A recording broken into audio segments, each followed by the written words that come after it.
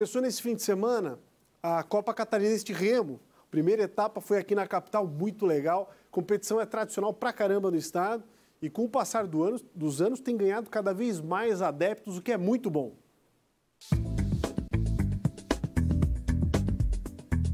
Todos alinhados, equipes, barcos, tempo, vento e um domingão de sol.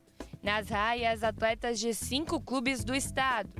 Nas arquibancadas, espectadores ansiosos pela competição. E é isso, foi dada a largada para a centésima edição da Copa Catarinense de Remo, o campeonato mais antigo ainda em disputa em Santa Catarina. Começou lá em 1919. O campeonato mais antigo, né? mais antigo que o futebol, mais antigo que as outras modalidades todas. É o, inclusive com um troféu em disputa mais antigo também, que é uma taça transitória de 1918.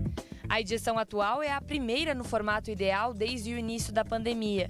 O campeonato, que começou ainda no sábado com provas eliminatórias, é dividido em quatro etapas. A gente tem três em Florianópolis, sendo uma em, é, agora é, em março, depois a gente tem uma em maio, teremos uma outra em agosto e para finalizar teremos em outubro, junto com a Oktoberfest em Blumenau. São cinco equipes participando, são é, três da capital, o Aldo Luiz, o Martinelli e o Riachuelo.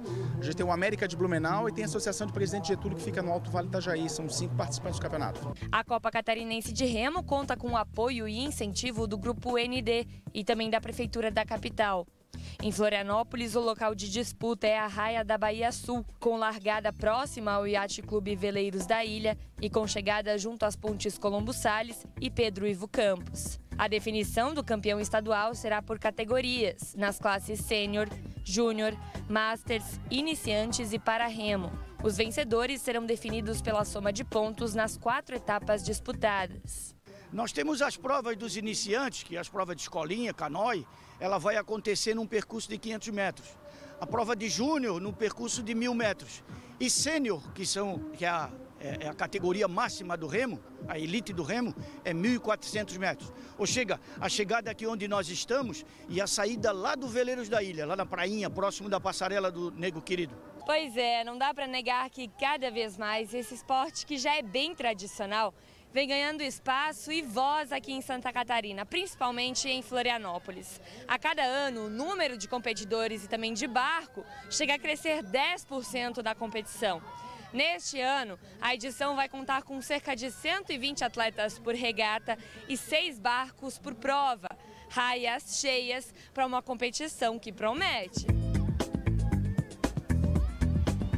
Isso mostra então que nós estamos crescendo, isso mostra que o campeonato também, a divulgação toda que se, que se faz é, tem dado resultado, ou seja, as pessoas procuram hoje ambiente a céu aberto, saúde, né? ou seja, é, o, o, remo proporciona isso, esse contato com a natureza que talvez em outras modalidades tu não encontre. A dona Ivonete aproveitou o domingo para vir com toda a família e acompanhar o neto, Pedro. Ele compete pelo Clube Náutico Francisco Martinelli, da capital. Um domingo diferente e bem especial. A gente precisa prestigiar. Eu tenho um neto que está remando, que já foi campeão brasileiro. Nova geração, bastante atletas esse ano.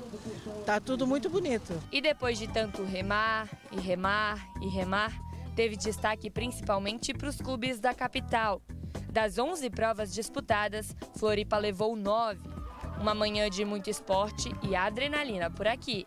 O campeonato ele não se encerra na primeira etapa, né? Então, assim, vai ser uma disputa uh, acirrada até a última etapa de Blumenau.